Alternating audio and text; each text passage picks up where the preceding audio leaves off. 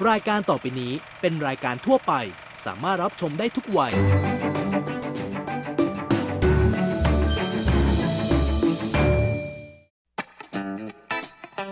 สนับสนุนโดย Isuzu Mu X 1.9 DDI Blue Power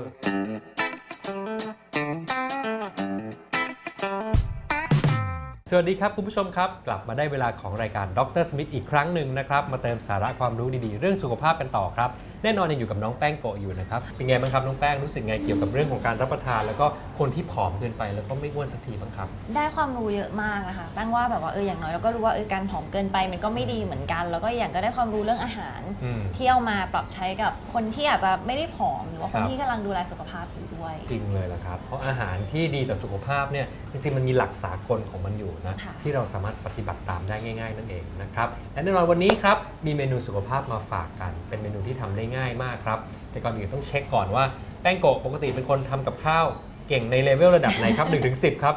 น่าจะประมาณ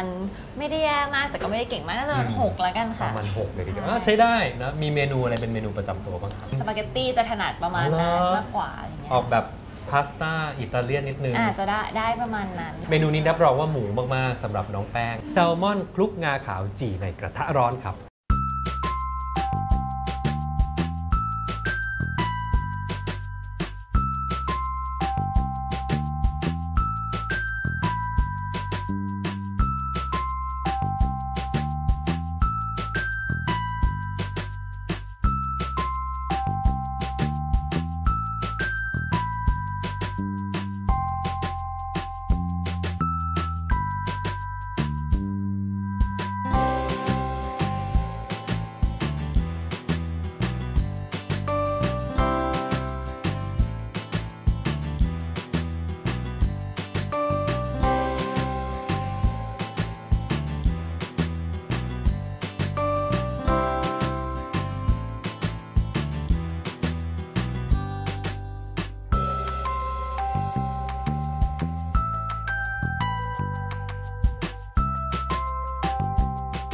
เป็นไงทำยากไหมครับน้องแป้ง ดูไม่ยากค่ะ นะ ใช่แล้วก็น่าทานมากได้วยประโยชน์อีกด้วยนะครับ ค่ะ โปรตีนทานครั้งหนึ่งนะครับ อย่างชิ้นปลาเนี่ย ถ้าอยากเพิ่มน้ำหนักนะครับตอนหนึ่งมื้อให้ได้ประมาณ 1 ฝ่ามือเรานี่แหละครับ จริงๆแซลมอนเนี่ยก็เป็นปลาชนิดหนึ่งที่ประโยชน์เยอะนะ โปรตีนก็เสริมสร้างกล้ามเนื้อทำให้เราเนี่ยเพิ่มน้ำหนักอย่างมีคุณภาพได้นะครับ ส่วนไขมันเนี่ยนะครับในปลาก็จะเป็นโอเมก้า3ครับ ซึ่งมีฤทธิ์ในการลดการอักเสบ และก็ลดความเสี่ยงของโรคหลอดเลือดหัวใจอีกด้วยนะครับ ไขมันชนิดที่ดีจะเป็นการบำรุงสมอง และระบบประสาทของเรา ฝากไว้นิดนึงเดี๋ยวนี้โอ้โห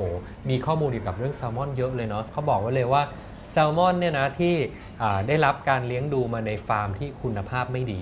นะครับกลายเป็นว่าเนี่ยมีพิษภัยเยอะ ดังนั้นเราก็เลยแนะนำให้ทานแซลมอนประเภท wild แซลมอนหรือว่าแซลมอนที่จับจากธรรมชาติเนี่ย คงจะเป็นสิ่งที่ดีที่สุดจริงๆแซลมอนเนี่ยแบ่งเป็นหลายประเภทด้วยกันนะครับ อันนี้แพงที่สุดเลยเขาเรียก king salmon นะครับ อันนี้ไขมันจะเยอะที่สุด อันที่ 2 ที่เราเจอค่อนข้างบ่อยในร้านอาหารสุขภาพคือพวก sock eye salmon นะครับ ตัวนี้ก็ไขมันก็ปานกลาง ชนิดที่ 3 ชนิดที่เจอบ่อยมากๆนะครับก็คือชนิดที่เอามาแช่ฟรีซแล้วก็ส่งออกตามประเทศต่างๆนั่นเองนะครับส่วนชนิดที่สี่นะครับเขาเรียก pink salmon ก็คือเป็นตระกูลที่ไขมันไม่ได้เยอะเท่าไหร่ เอามาทำเป็นเนื้อแซลมอนกระป๋องซะมากกว่า วันนี้นะครับผมกับน้องแป้งโกต้องลาไปก่อนครับ ติดตามสาระความรู้ดีๆเกี่ยวกับสุขภาพแบบนี้ได้ใหม่นะครับ ทุกวันจันทร์ถึงศุกร์ก่อนครบธงชาติทางช่องวันครับ อย่าลืมนะครับ คุณมีนัดกับดรสมิธครับ วันนี้ลาไปก่อนครับ สวัสดีครับ สวัสดีค่ะ